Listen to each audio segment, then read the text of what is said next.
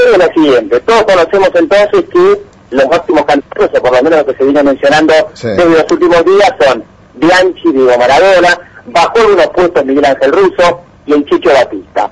La realidad marca que, todos conocíamos, no existía en los últimos tiempos su relación fluida ni buena entre el virrey Carlos Bianchi y Julio Humberto Grandona, el presidente de la AFA, sobre todo por las eh, distintas negativas que en su momento le dio el virrey cuando le ofreció el puesto Julio Humberto Grandona.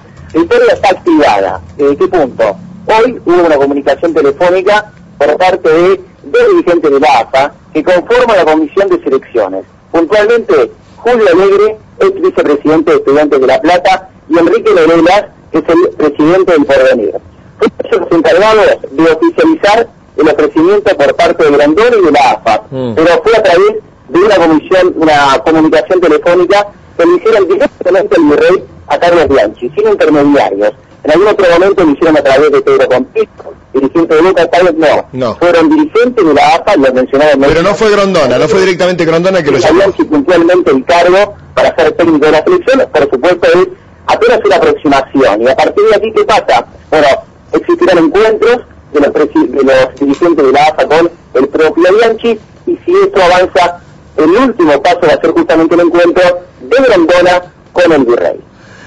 Bien, eh, no fue eh, Julio Grondona el que lo llamó a Bianchi, lo llamó otra persona dentro de la AFA.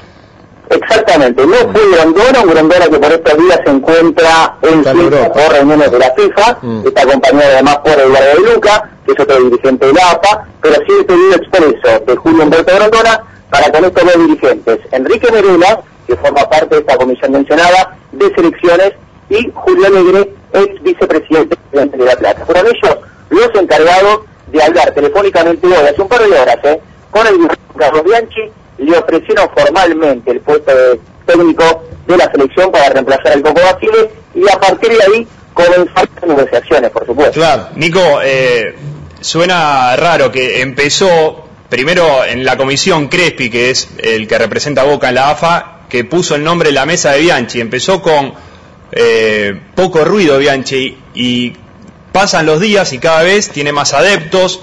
Eh, y dicen lo que conocen en el mundo de la AFA que eh, Grondona quiere hacerle mucho caso a la gente. Lo que quiere la gente eh, puede influir mucho, ¿es así? Exacto.